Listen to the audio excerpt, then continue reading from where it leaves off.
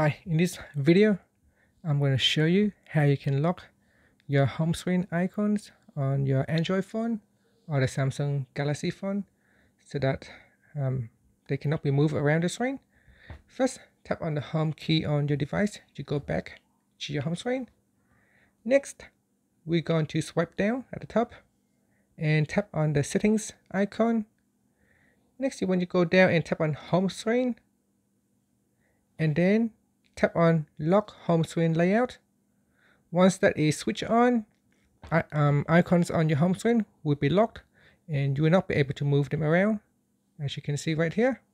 Now I said that if you want to um, if you want to be able to move home screen icons, you need to unlock it. So you can go into settings and then you can uh, turn off lock home screen layout and that will allow you to move your home screen icons again.